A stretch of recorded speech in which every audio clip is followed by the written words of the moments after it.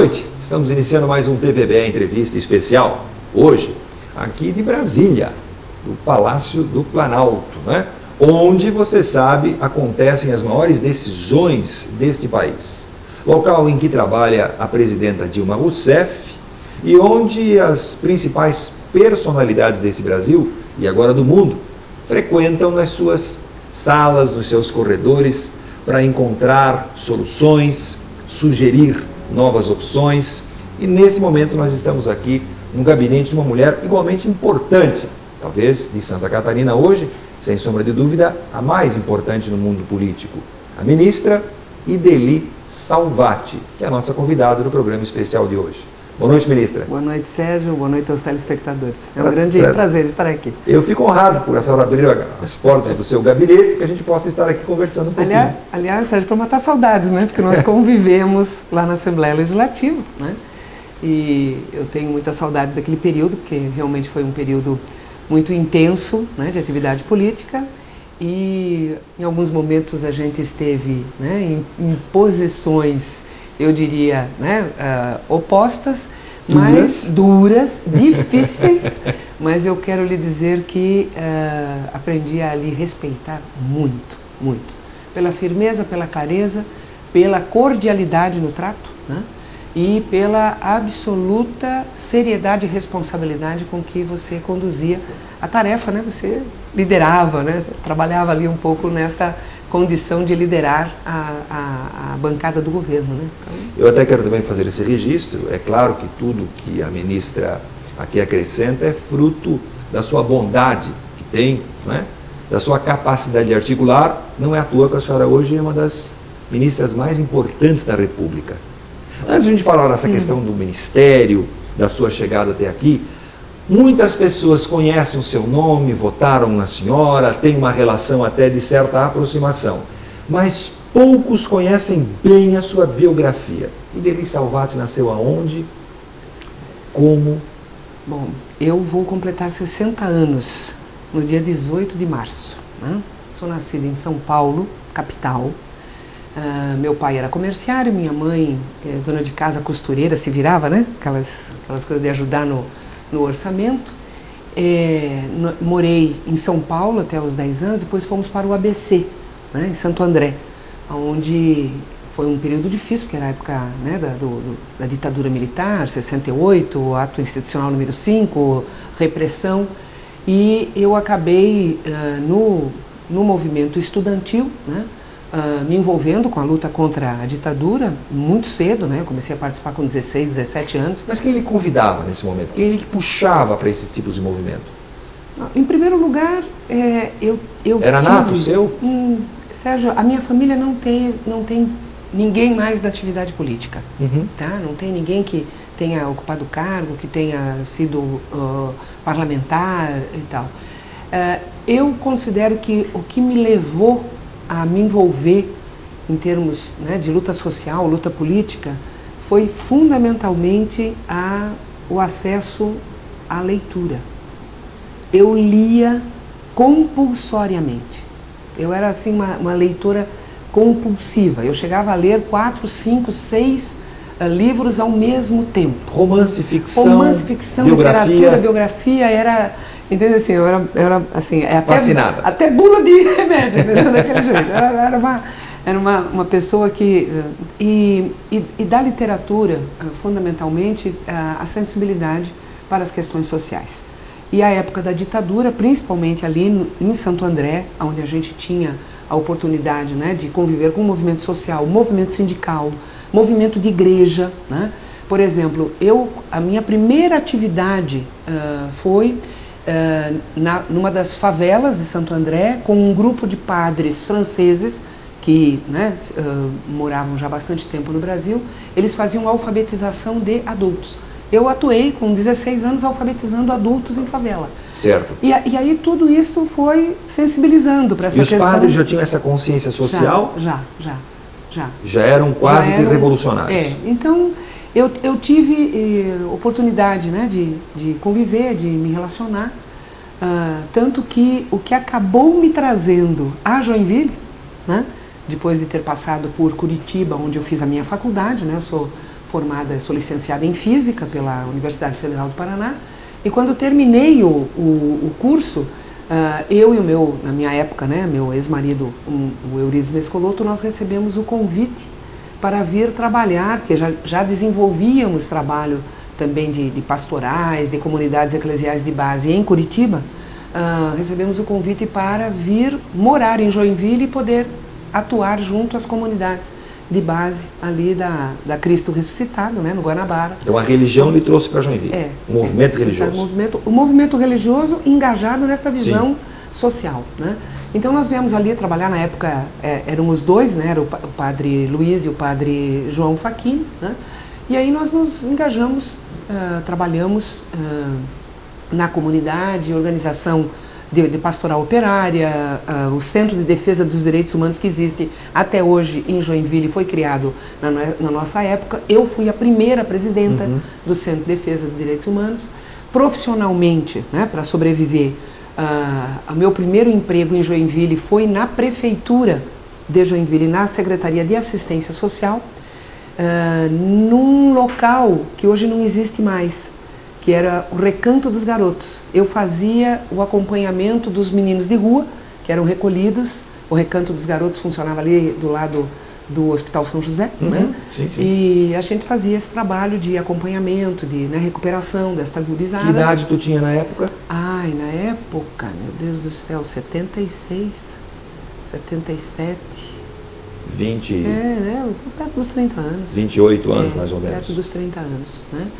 E foi dali, inclusive, desse trabalho lá no Recanto dos Garotos, que com o Chico, né, que foi uhum. o Sindicato dos Servidores, Francisco, Francisco né, e tal, que a gente acabou elaborando o projeto do SERGE, do Centro de Educação uh, da Juventude, né, que é um dos programas que ainda a Prefeitura de Joinville ainda executa. E era um dos pioneiros hoje, no, um Estado.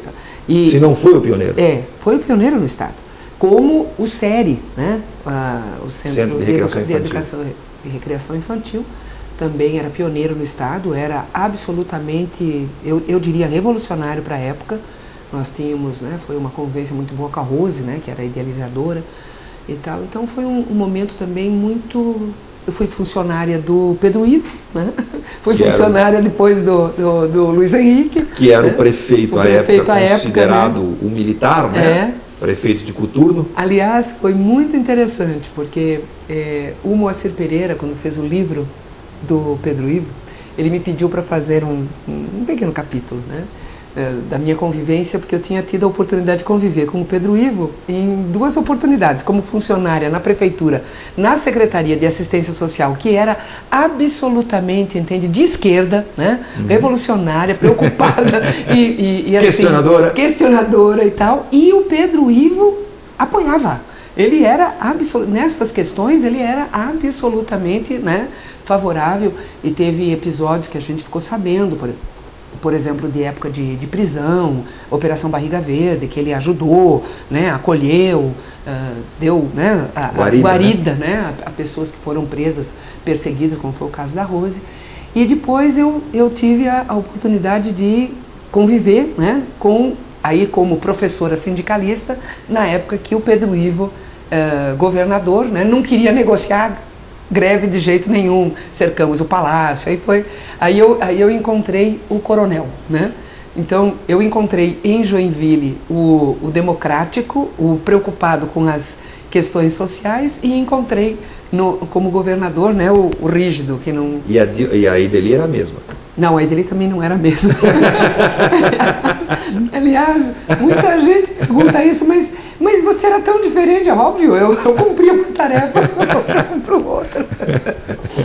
Bom, aí você é, começou a, a vislumbrar um espaço político, o que era o movimento social se transformou nesse espaço político. Qual foi o teu grande momento é, de mudança? Olha, o teu pulo para a política? Deixa eu falar, Sérgio. Para mim, o período que eu morei em Joinville, né, ele foi fundamental para o que eu acabei me transformando e acabei né, uh, consolidando como pessoa, como figura política, como atuação e tal. Por que, que Joinville foi tão importante para mim? É, primeiro porque eu tive a oportunidade Em nenhum outro momento da minha vida eu tive a oportunidade de conviver com os, os mais humildes, buscando alternativas e soluções concretas para estas pessoas. Então foi o, o momento onde eu tive a oportunidade de uh, morar, entende, em, em bairro muito pobre, uh, onde a gente organizou, entende, e, e cuidou para poder resolver problema do ônibus, problema da água, problema da, do posto de saúde, do esgoto, ou seja, da polícia, da poli aquilo que afeta o cotidiano das pessoas. Uhum. E nesta convivência, uh, aprender o quanto que a população mais humilde, mais simples, ela é solidária. Solidária. A solidariedade não está fundamentalmente nas pessoas que têm muito. Ela está muito mais nas pessoas que têm pouco. É mais fácil ser solidário, entende? É mais comum você encontrar a solidariedade, a, o companheirismo, a preocupação com o outro, entende? Nas pessoas mais humildes do que nas pessoas. Então aquilo para mim foi. Divide-se o pouco o que pouco tem que mais tem. fácil é. do que não dividir é. muito que poucos têm. Tem, exatamente. Então para mim, assim, em termos da minha formação de. Uh, como é que eu vou dizer assim, de, de cidadã, de cidadã, de respeito e aprender a conviver e aprender a respeitar e aprender a fazer com que aquilo que é negativo possa ser transformado a partir da organização, a partir né, da, da, do trabalho coletivo, num, num benefício. Então, Joinville para mim foi a minha grande universidade Ministra, da política. Nós vamos dar um salto daqui a pouco para o comercial mas você falou uma coisa que eu quero registrar. Você disse, e as pessoas disseram, poxa, Ideli, você mudou né, de um ponto para o outro nessa tua evolução, nessa tua caminhada política. E eu quero fazer uma pergunta assim, bem pessoal. Né? Hoje, as pessoas com quem encontro dizem, poxa vida, como a Ideli está uma mulher bonita, né? o cabelo está diferente, o poder deixa as pessoas mais bonitas, Ideli? Olha, todo mundo diz que o poder é afrodisíaco, embeleza. Eu, uh, e é verdade, Eu então? acho que é um pouquinho. Daqui a pouquinho a gente eu volta. Eu vejo as fotografias antigas, acho que é um pouquinho melhor. Daqui a pouquinho a gente volta. Ela vai falar, inclusive, qual é o cabeleireiro que ela frequenta. Bobagem. Mas a gente vai falar sobre coisas importantes e sérias para Itajaí e para Joinville. Um instante só, eu já volto.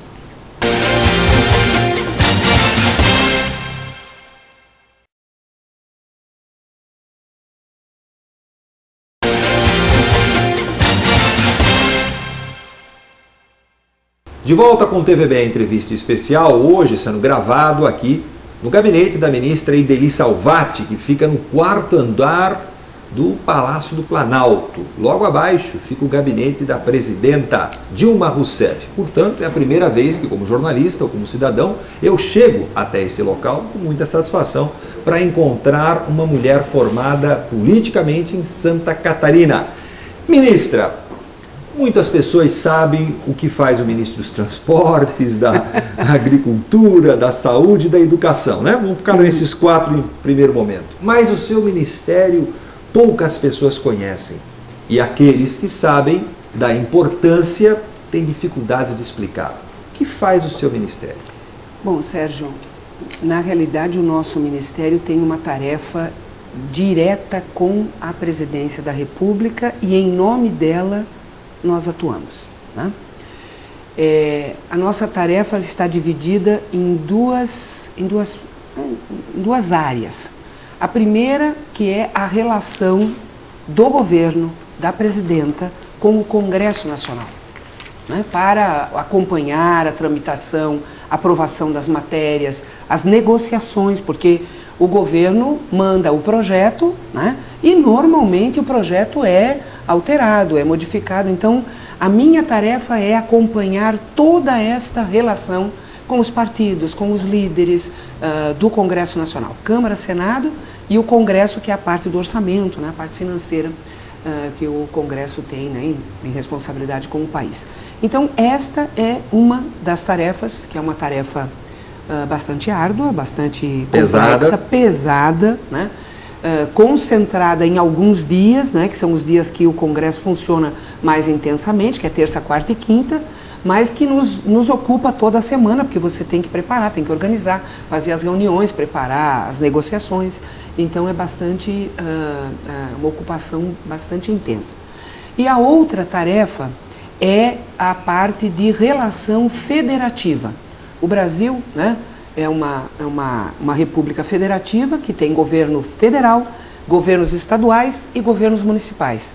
E há vários assuntos que uh, são do interesse e são importantes para os três entes federados que são de responsabilidade da, da presidência da República, do governo federal e que a gente uh, trabalha gerencia e atua, isso. gerencia isso. Tá? Dá um eu, exemplo eu vou dar um caso. exemplo isso. bem concreto. Tá?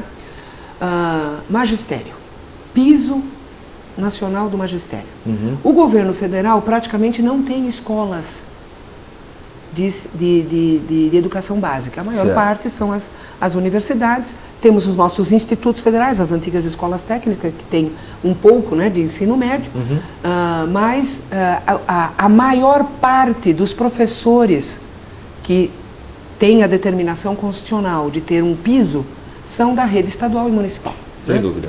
Então, nós temos uma lei que está em vigor, vários estados não, não, estão, cumprindo. Não estão cumprindo né? Ah, Santa Catarina diz que cumpre, o sindicato diz que diz não. Diz que não, né? Então a tem ministra toda uma tem controvérsia. Eu acho melhor a gente deixar isso para depois. então é o seguinte, então este, este é um típico assunto federativo, tá? Porque a Constituição delegou ao governo federal determinar o valor do piso, foi feita uma negociação, uh, na época ninguém contestou, nenhum governador contestou, nada, entendeu? Uh, entrou em vigor e começaram a não cumprir. Então agora nós temos que uh, cuidar para que este assunto seja equacionado. Tá? E como é que se equaciona um problema com esta dimensão, ministra? Já há uma fórmula eh, sendo elaborada? Já existe uma perspectiva de solução? É, nós vamos ter agora que fazer um trabalho, porque na legislação que criou o, o piso já contemplava complementos da União para o caso de estados que não tivessem condição com os seus recursos próprios. Certo. É, o Caixa do Tesouro dá o dinheiro que falta. Que, de complementar.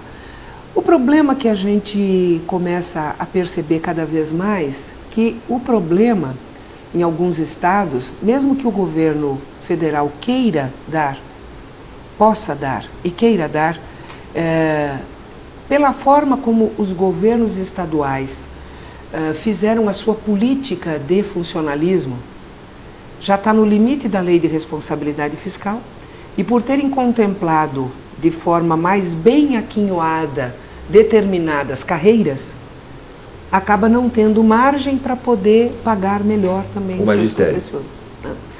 Então, Priorizou-se é, outras caminhadas, outras, outras caminhadas, atividades. Outras atividades. Né? Então, nós vamos ter, inclusive, este vai ser uma das minhas grandes tarefas agora neste primeiro semestre, é tentar encontrar uma mesa de negociação, entende? Uma, uma, uma solução, uma, uma tentativa né, de, de busca de solução. Os três nossos estados do Sul têm esse problema? Tem. Rio Grande do Sul tem, Santa Catarina tem, Paraná tem. O mesmo problema em estados considerados... Diferenciado. Aliás, é, é muito interessante, porque quais foram os, os estados que, inclusive, entraram na justiça e depois perderam, né? Sim. Que o, o, Supremo deu, deu ganho de causa aos professores, né? Uh, foram estados uh, ricos, não foi nenhum estado, foi, foi uh, Santa Catarina, foi Minas,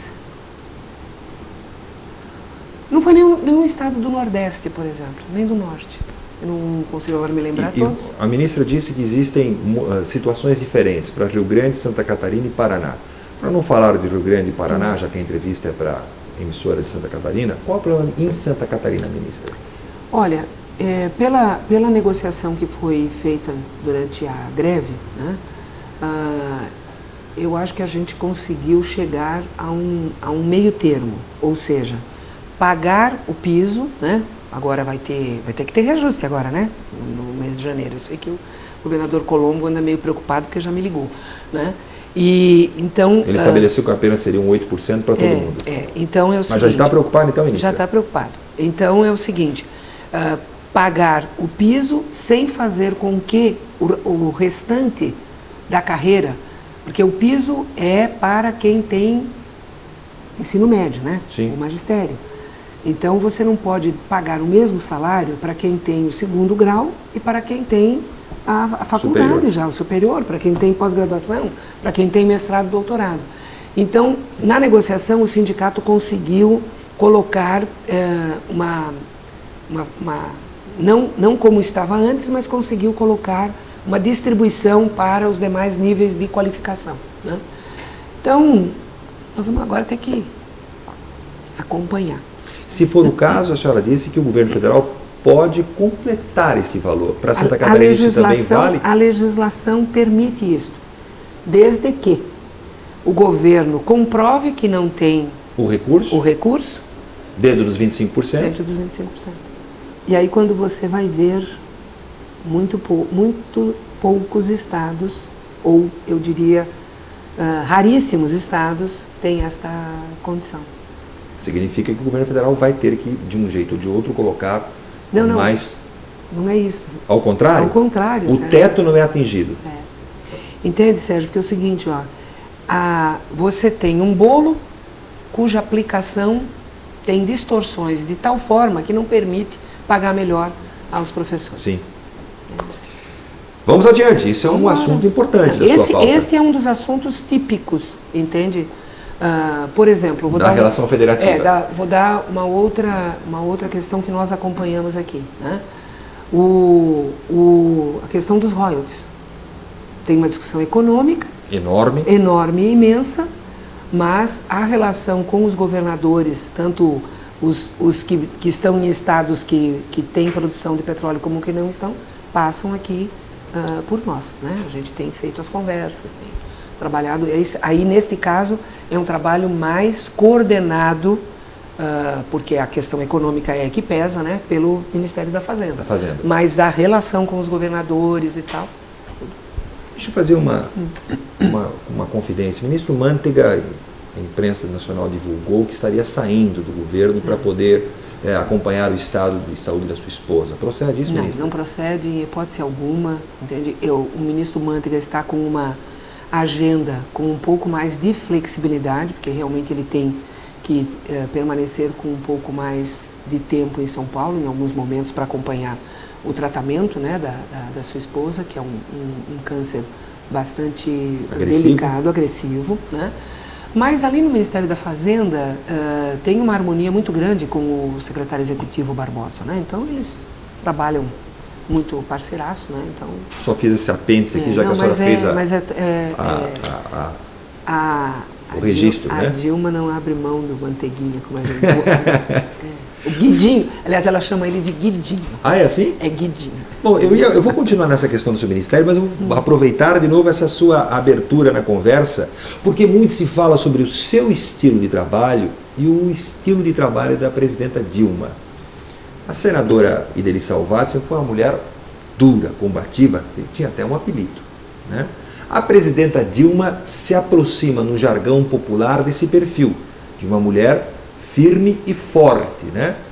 O que que é verdade disso e o que é um pouco de fantasia nos dois perfis? Sérgio, deixa eu dizer assim, é, as pessoas é, visualizam a, a atuação da gente numa circunstância, numa condição, e transportam isto automaticamente para uma situação nova e diferente. Né? Então, assim, quando eu assumi aqui a Secretaria de Relações Institucionais, principalmente porque a minha atuação parlamentar foi uma atuação muito dura, muito firme, eu tive que enfrentar cobras e lagartos né, para fazer a defesa da governabilidade, a E defesa... outros bichos? E outros bichos, cobras, lagartos e bichos piores. Né? E então as pessoas imaginavam, não, não vai dar certo. Como é que a ir lá, entende, com essa postura assim agressiva e tarará, tarará, ela vai fazer a relação com o Congresso para aprovar matérias onde normalmente precisa negociar, precisa ter flexibilidade, precisa ceder aonde é possível, onde não é possível, né, estabelecer o, o, né, o, o limite. E e eu quero lhe dizer que, ao final destes mais de seis meses né, no Ministério, o resultado da aprovação demonstrou que, quando precisa bater, quando precisa ser firme, mas quando precisa negociar, quando precisa flexibilizar, a gente tem um entendimento claro do, do que é e a presidenta? Uh, necessário.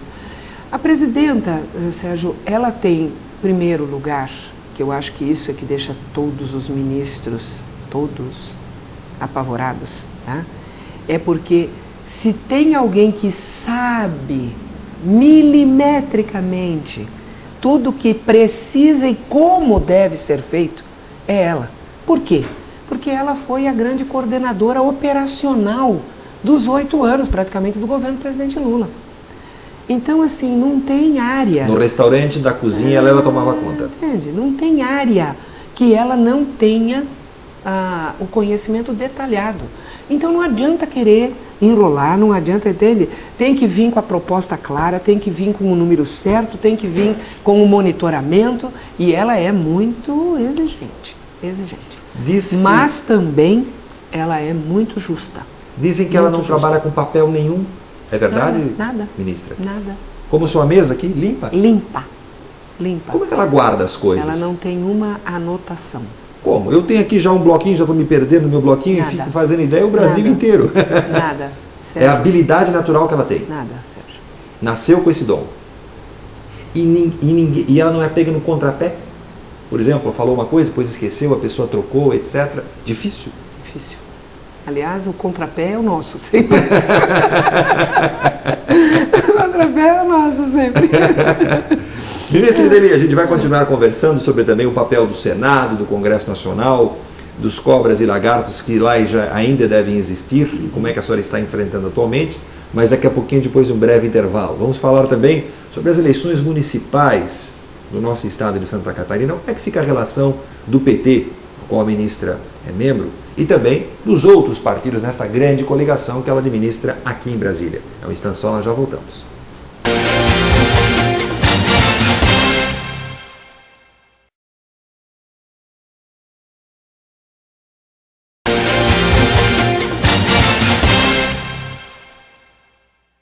De volta com o TVBE especial, está sendo exibido na emissora de Joinville e também na emissora de Itajaí para toda a região norte e nordeste de Santa Catarina, incluindo aí o nosso querido Vale do Rio Itajaí. Ministra Ideli, no bloco anterior falamos um pouquinho sobre as suas atividades, a importância do seu ministério, os grandes desafios e relação com o governo, os governos de estado e até os nossos municípios. Mas a sua prova de fogo foi no ano passado, quando a presidenta Dilma encaminhou um projeto fundamental, segundo eh, todos os analistas políticos e econômicos, que seria o que a oposição denominou de cheque em branco 20% do orçamento que a presidenta pode eh, gastar onde quiser. Vamos explicar um pouco como funciona isso, ministra, para as pessoas que estão em Então casa. Tá. Luiz Sérgio, oh, Sérgio Silva, em primeiro lugar, essa história de cheque em branco, gasta onde quiser, não existe. Tá? A, a DRU, né, a desvinculação das receitas da União, é um, me, é um mecanismo fiscal, orçamentário, que já existe desde a época do Itamar Franco. Certo. Né? Então, o Itamar se utilizou deste mecanismo, o Fernando Henrique, o Luiz Inácio e agora a presidenta Dilma. Na realidade é o seguinte, nós temos, a Constituição estabelece percentuais obrigatórios de aplicação de recursos né, em algumas áreas. Tá? E, portanto, o dinheiro, por causa destes percentuais, se não tivesse a DRU, este, estes recursos ficam vinculados, ficam reservados. Só pode ser gasto só pode naquilo. ser gasto naquilo. Como o povo conhece, dinheiro carimbado. Carimbado, certo? Então, eh, o que é que significa isto? Se há uma necessidade, se tem um investimento importante, se tem uma crise onde você precisa ah, remanejar, você não pode mexer naquele dinheiro, certo? Então, essa desvinculação, essa DRU, tira um quinto desse dinheiro que está carimbado, 20%. 20%, para ser alocado em outras áreas. Que números são esses, ministra? O, o, que, o que estaria no orçamento em- que vai entrar em vigor agora, né, que vai ser executado este ano, se- não chegaria a 70 bi. 70 Bi. bilhões. Bilhões, tá? Para mudar. Hã? Que é o É, pode que é que ser pode mudar. movimentado. Só que é o seguinte, para onde vai este dinheiro que não vai ficar carimbado? Ele não fica para a presidenta decidir. ele é votado no orçamento. Uhum. Então, no orçamento que foi para o Congresso apreciar, já estava lá especificado, daqueles 70 bi, quantos seriam aplicados em estradas, quantos seriam aplicados né, em moradia, quantos seriam aplicados nas outras áreas que são uh, que não têm o, a vinculação. Né? E, e, o Congresso aprovou, portanto, não é cheque em branco, vai ser cobrado, monitorado, fiscalizado. Claro, é a linguagem que a oposição é. utilizou para poder pra... vender a sua ideia. É, a ideia que eles que criaram a, a DRU, entendeu? Eles não usaram na época quando criaram, né? Mas, ministra, quando é. eu lhe perguntei, eu fiz uma afirmação, na verdade, que foi a sua prova de fogo. Foi. Muitas pessoas não acreditavam que, primeiro, a DRU pudesse passar nas condições de não haver emendas Segundo, que se passar seria muito apertadinho. E aconteceu exatamente o contrário. Passou sem emendas e ainda com um quórum extraordinário. extraordinário. Foi isso, ministra? Foi, foi isso, porque na realidade era uma emenda, é, é uma emenda à Constituição. Emenda à Constituição tem uma tramitação totalmente diferente das outras matérias. Tem Mais difícil. Prazos rígidos. O mesmo texto tem que ser votado idêntico nas duas casas para poder ser promulgado. Uh, tem uh, prazos, os famosos interstícios, né? Você vota o primeiro turno, aí tem que ter tantas sessões para. A oposição chegou a ir ao Supremo para impedir, né? Quando nós estávamos ainda na fase da Câmara, a, a, a gente tentou fazer uma, uma, uma possibilidade de quebra de interstício votando um requerimento e a, e a oposição foi ao Supremo. Nós ficamos com receio, entende, do Supremo parar tudo e aí seguimos o regimento e conseguimos votar, né? Conseguimos votar dentro do prazo que permitiu, inclusive, porque se nós não aprovássemos e promulgássemos a DRU, né, nós não poderíamos votar o orçamento. Certo. Porque senão aquela proposta onde já tinha aquele 70 bi remanejado, ele teria que retornar. Retornar. Entende? E aí, ou como é que você ia segurar pagamento disso, pagamento daquilo, investimento, entende? Teria que fazer. Na verdade, teria que ser elaborado um novo orçamento. E tá? esse placar tão elástico foi é, mérito da ministra ou foi uma circunstância especial? E a segunda pergunta, na sequência. Muito falou-se também de liberação de emendas parlamentares, vinculando-se as duas coisas. O que de fato aconteceu, ministro? Olha, Luiz Sérgio, em primeiro lugar, eu tive uma, uma ajuda fundamental das lideranças. As lideranças dos partidos foram parceiras, foram, entende? A gente combinou a estratégia, fez, cumpriu, uh, precisava dar quórum, entende? Uh, segundas e sextas-feiras uh, nós conseguimos, entende? Os, os parlamentares escalados vieram, cumpriram. Então, eu tenho em primeiro lugar que agradecer aos partidos né, da base e às lideranças que foram parceiraças. Tá? Depois, esta questão das emendas, Sérgio, você foi parlamentar. É um direito do parlamentar apresentar emendas. É legítimo o parlamentar ter o atendimento das suas emendas, né, o empenho e depois com a execução, a execução né, se a obra está sendo feita correta, etc., tal, o pagamento. Sem tá? dúvida. Este ano, uh, Sérgio, foi o primeiro ano que eu dos que eu vivi aqui em Brasília, né? Eu estou no meu entrando no meu décimo ano em Brasília, tá? Oito anos como senadoras, um, um ano como ministra, agora, né? Entrando nos, né? Foi a primeira vez nestes nove anos e, e um pouquinho que uh, aconteceu de não ter tido, por exemplo, no primeiro semestre, empenho de nenhuma emenda. Nada.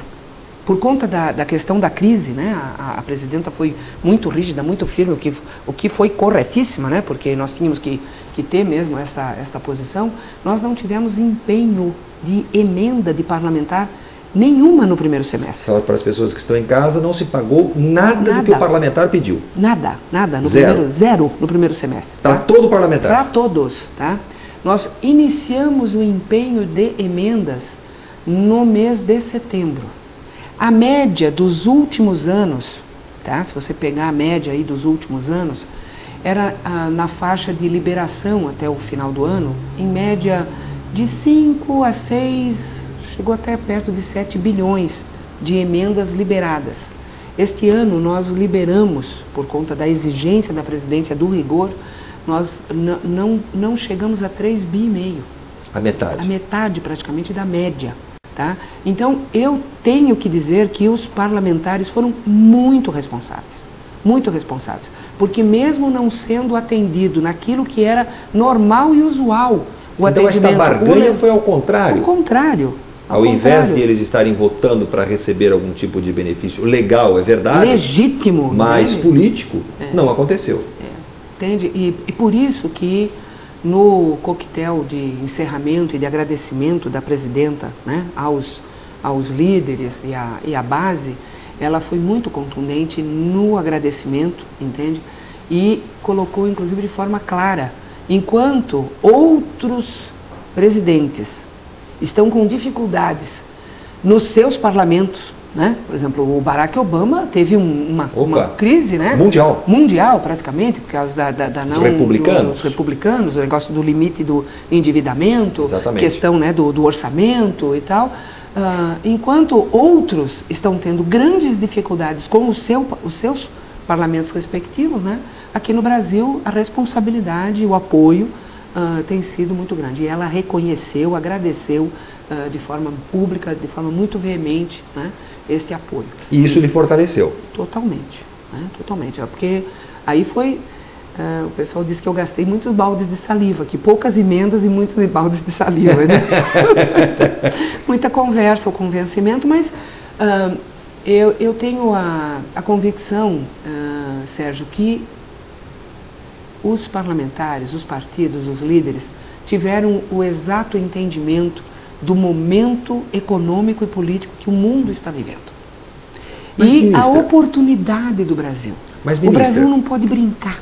Não mas pode nós brincar. estamos em, em véspera de eleições municipais. O Partido Novo acabou sendo formado, é, alguns estão em fase de desmonte ou de desmanche, não é? Enfim, isso evidentemente deixa o, aqui nas suas costas, não é? Alvoroçado. Oh, isso aqui deve estar um caldeirão, né? Se há mexer um vespeiro, aliás, tem um formato meio é. próprio, né? Ele está ali, né? A caixinha de abelha, né? Ministra, e a perspectiva, portanto, para esse ano não é que esse, esses ânimos não fiquem mais acirrados, ministra? Olha, nós vamos, estamos agora realizando as reuniões dos grupos ministeriais, né? E nós vamos ter uh, apresentar para a presidenta quais são as nossas prioridades, quais são as questões mais delicadas que nós precisamos uh, trabalhar. Uma das questões que eu quero levar à presidenta, inclusive, é esta. É um ano eleitoral. Por ser ano eleitoral, a legislação proíbe, a partir de julho, de 1 de julho, empenho ou convênios, entende, uh, iniciar né, qualquer procedimento uh, até a realização das eleições. Aquilo que já está iniciado, aquilo que já está conveniado, vai. Vai. Iniciar a partir do 1 de julho, não. Certo. Portanto, eu quero propor, né, vou, vou levar isso como proposta à presidenta, que até como uma forma de uh, reconhecimento da uh, seriedade, da responsabilidade com que os parlamentares, os partidos atuaram no ano passado, que a gente pudesse ter uh, o empenho uh, de emendas né, dos parlamentares. A liberação dessas emendas? Da liberação destas emendas ainda no primeiro semestre, né, num volume... 4 bilhões, pelo que eu estou entendendo, ministra? Eu vou chamar os comerciais enquanto eu vou dar para ela um produto do laboratório catarinense que é maravilhoso para a garganta e uma água, que é fruto de Deus. É um instantinho só, nós já voltamos.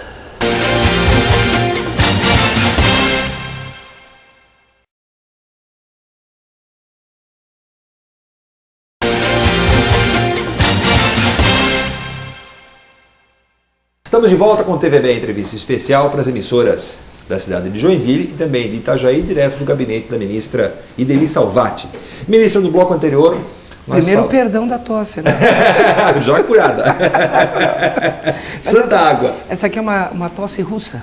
Russa? É, porque a senhora eu, trouxe de lá em Porto. Eu cheguei, eu cheguei, né, na, há, há poucos dias atrás. Por que a senhora foi passar férias na Rússia? Bom, deixa, deixa eu explicar, porque isso é uma outra... O meu, o meu marido é, é do Exército, subtenente né, do Exército, e ele é uma pessoa que, bom, é músico, tem uma facilidade para, ah, as questões, né, os sons e tal, e uma facilidade imensa para línguas. Né? E ele é autodidata, ele aprendeu é, inicialmente sozinho o idioma russo. Que é difícil. O que é difícil, porque é um outro alfabeto, né? Exatamente. É uma coisa muito diferenciada. Não há vogais não há vogais, né? é uma coisa muito diferenciada. E eu até vou contar o episódio, porque o episódio é até interessante. Como é, a banda da Polícia Militar estava com problemas, eu não, não sei direito o que, que era, a banda do 63BI lá de Florianópolis foi tocar numa solenidade onde o governador Luiz Henrique estava recebendo o governador da província de Samara da, Da Rússia. Da, da Rússia né? E aí foi lá, fez a, a- tocata né, e tal, parará. E lá pelas tantas, o meu marido começou a conversar em russo com membros da delegação. E o governador de Samara viu e chamou meu marido para a mesa, estava na mesa com, com o Luiz Henrique. Governador? E aí ficaram lá conversando em russo, né, com, com o Luiz Henrique, também um apaixonado né, pela Rússia. Porém, E- não fala nada. Não fala nada, né, é um apaixonado, todos nós sabemos. E, e aí o meu marido recebeu um convite, uma, uma bolsa de seis meses para fazer aperfeiçoamento do, lá na universidade em Samara. Do idioma. disso. Do idioma. Então ele morou seis meses lá em Samara. E aí quando tem oportunidade, agora nós tínhamos uma oportunidade, tínhamos 15 dias, né? Então eu já tinha ido uma vez com ele e voltamos, né? E tal. É, é- é um país lindo, maravilhoso, uma época muito diferente, a neve, essa história toda. Gostasse dele? Eu adorei. É muito É, o que que- é agora na tua radiografia, se tu batesse agora uma foto, né? O que que aparece nessa imagem? O que que te mais te marcou? Marca mais? É. lá? Ah, é a neve. A neve te Aquela- encantou. Aquela, aquela paisagem da neve.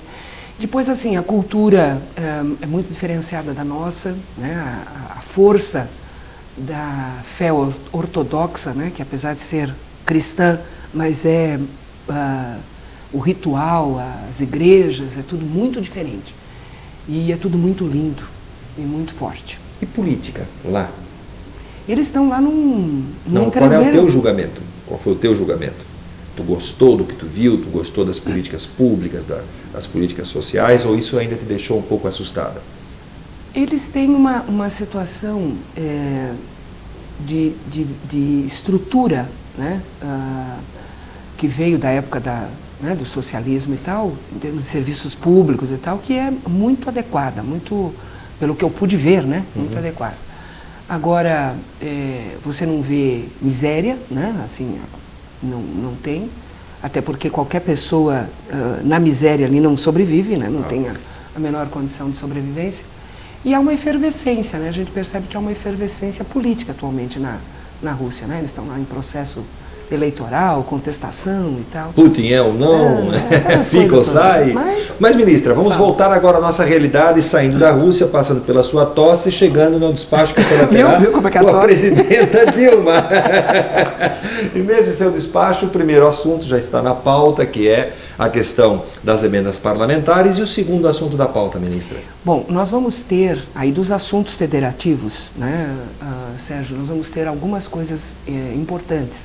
Essa negociação do piso do magistério, né, Uhum. a questão dos royalties, Uhum. tudo esse é assunto que eu vou ter que tocar, né, que a gente vai ter que atuar. Ah, o Supremo Tribunal ah, determinou que a distribuição do fundo de participação dos estados, a atual divisão deste fundo, encerra agora no final de 2012. Então este é um outro debate Enorme. enorme, complexo, tá? que também eu vou ter que estar atuando.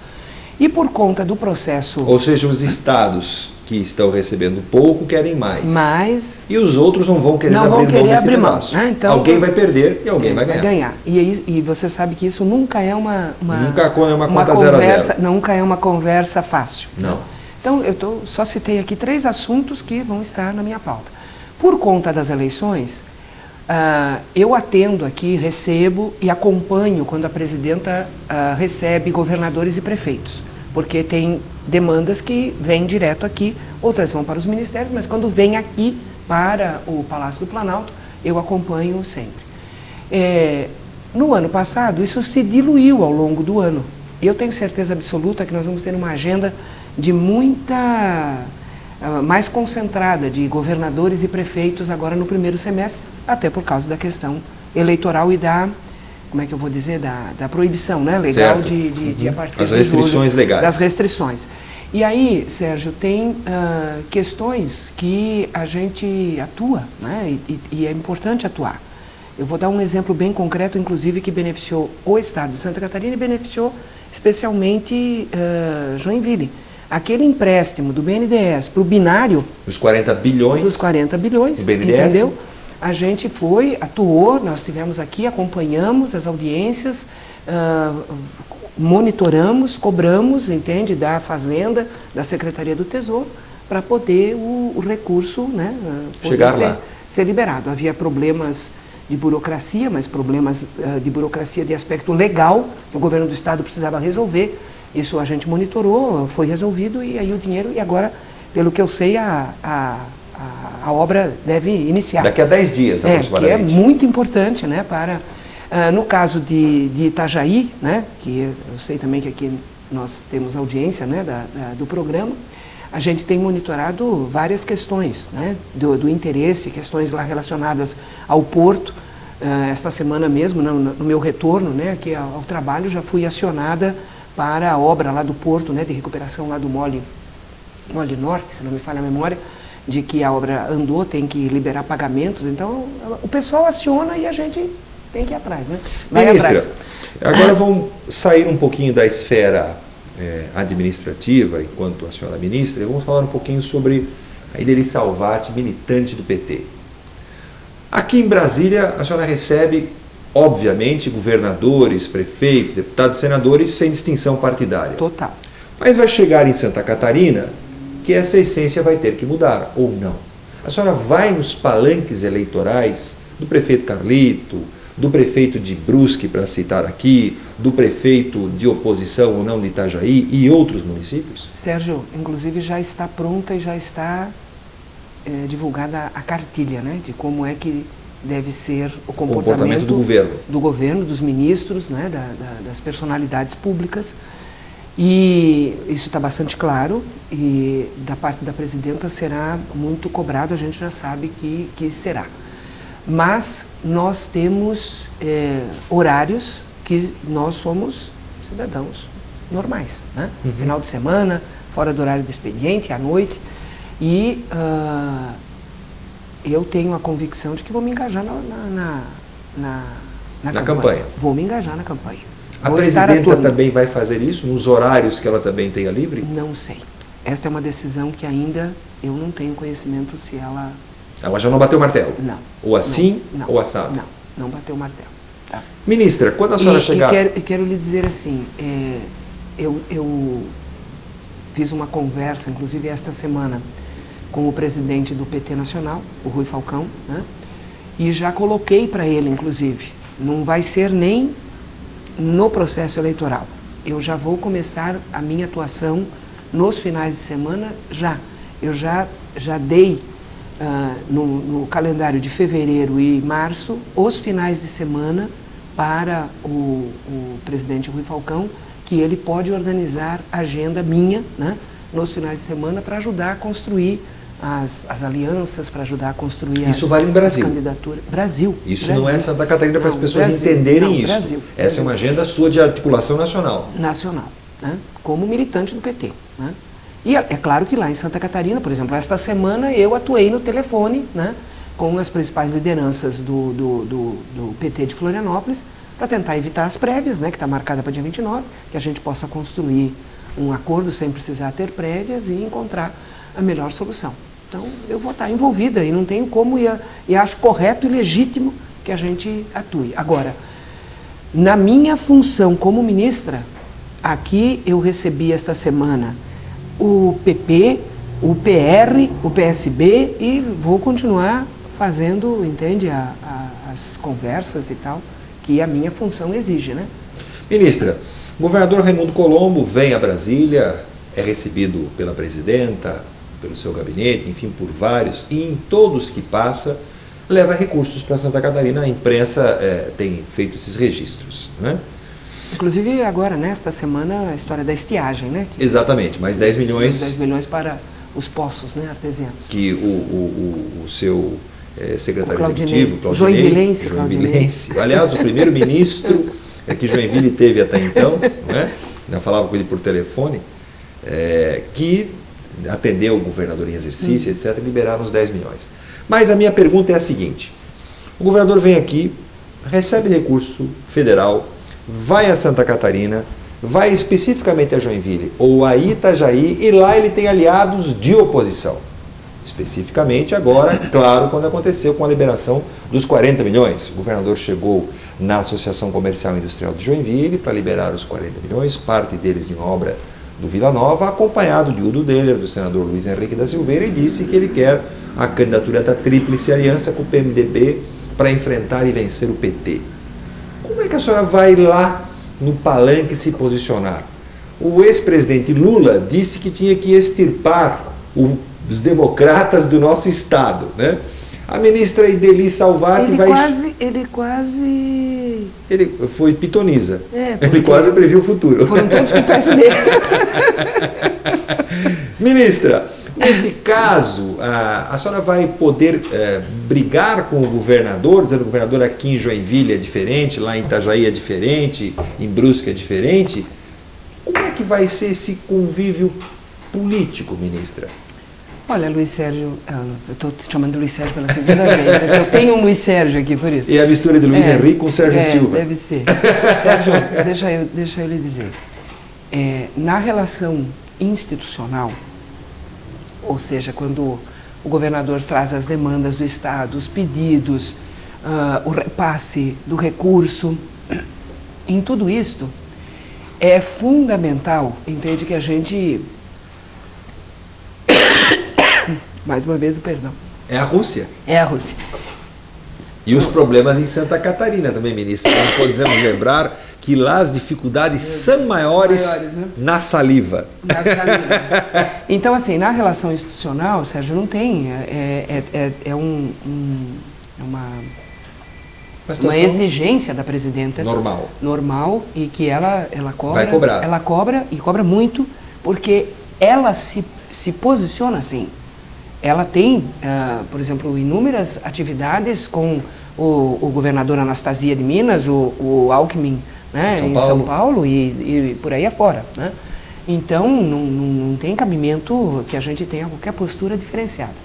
Agora, eleição é discussão de projeto, é discussão de prática, é discussão de, de, né, de, de perspectiva, de esperança, e eu vou estar atuando. Então, eu não tenho nenhum problema de ter uma atividade Acre, institucional, entende, com o governador uh, Colombo, né? Uh, e no, no meu horário né? de expediente? De expediente e fora do meu horário de expediente estar no palanque defendendo que o melhor, eu continuo achando que o melhor para Joinville é continuar com a administração do Carlito Mercer. Ministra, a senhora me dizia antes do programa iniciar, de que, e eu lhe perguntava, lhe provocava, né? Qual é o projeto do PT para 2014? E a sua resposta foi: passa por 2012. É passa é por 2012. É fundamental, por isso que nós estamos tão preocupados em nos organizarmos. Né? Nós temos algumas perspectivas, inclusive de retomada de algumas prefeituras que a gente já administrou, como é o caso, por exemplo, Blumenau. Né? Ali nós temos uma potencialidade de retomar. Né? Com uma mulher, talvez? Com uma mulher, com a, provavelmente com a, com Ana, a Paula. Ana Paula. Né? Uh, talvez tenhamos possibilidade também de retomar em Chapecó, né? Ali nós tivemos um episódio muito lamentável, né, do assassinato ali do nosso ex-vereador, né? Foi algo que ainda não está elucidado, que tem fortes indícios de ter tido uh, questões políticas, né? Então, uh, Sérgio, para nós é uma, é, uma, é uma situação, porque você veja bem, se nós tivermos potencialidade, né? De manter Joinville, reconquistar Blumenau, Chapecó, é uma situação que nos dá um patamar para 2014 de uma numa determinada situação. Se isto não for possível, oh, mas compensarmos com, com outras, por exemplo, a manutenção de Brusque, a manutenção de Gaspar, a manutenção de Laguna, né, outra São Miguel do Oeste, Concórdia, que são municípios de médio porte né, que a gente administra. Então também Uh, então vai depender, 2014 vai depender de 2012. O PT de Santa Catarina tem três correntes. duas um pouco mais bem definidas e uma, uma terceira hum. já um pouco mais frágil na sua estruturação. Não é? A senhora acredita que 2012 isso possa juntar um pouco mais ou vai manter essas distâncias abissais? Olha, Sérgio, eu acredito que a, a, a necessidade faz a unidade. Né? Normalmente a, a necessidade ajuda muito a construir a unidade. Porque quando todos brigam ou exigem ou, ou têm né, a, a dificuldade de entendimento, o resultado é ruim para todos. Não tem quem se beneficie de uma briga. Né? Foi então, o que então aconteceu na sua eleição para o governo do Estado, na sua opinião? A minha eleição para o governo do Estado, acho que nós tivemos vários ingredientes. Né? Então, Esse foi um deles? Uma pequena parte, sim. Né?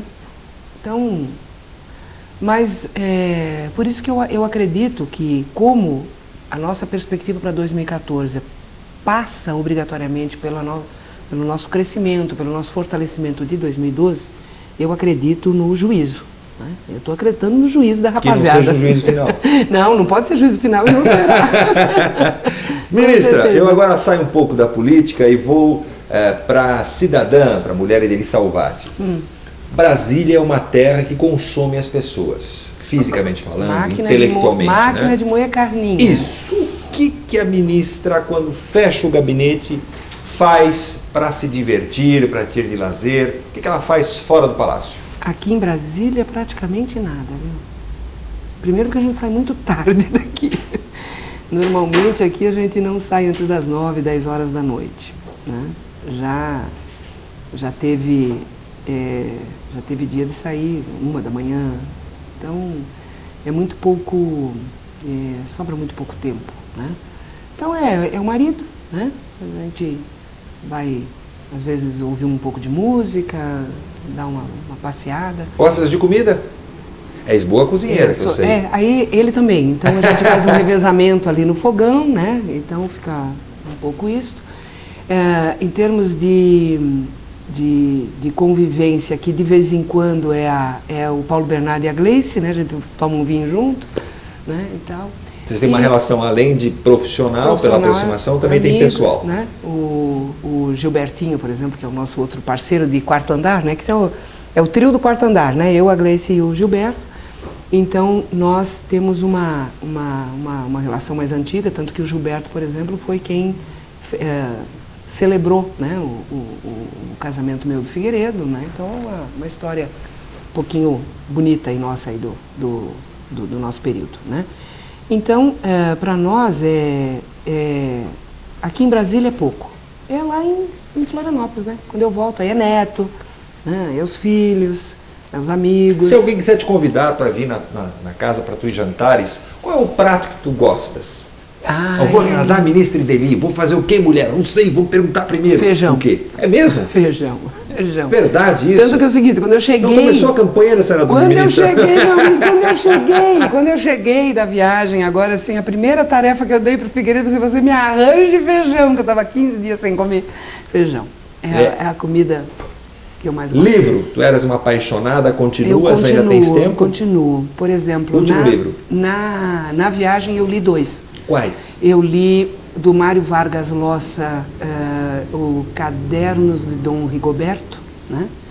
E li da Isabel Allende, uh, o, por coincidência, o Caderno de Maia. Eu não preciso perguntar as origens nem as razões desta, desta forma literária de curtir, né? É. Ministra, quero lhe agradecer de coração muito esse espaço na sua agenda.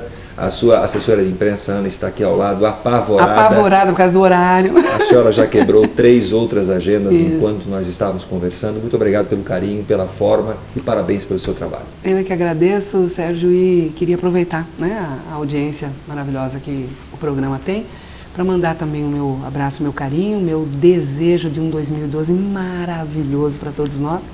É um ano que tem muitas oportunidades para o Brasil e para os brasileiros.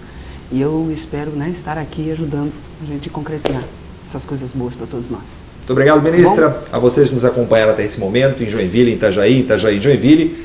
Até a próxima entrevista do TVB especial, quando mais uma personalidade estará aqui desfilando na sua casa. Até lá.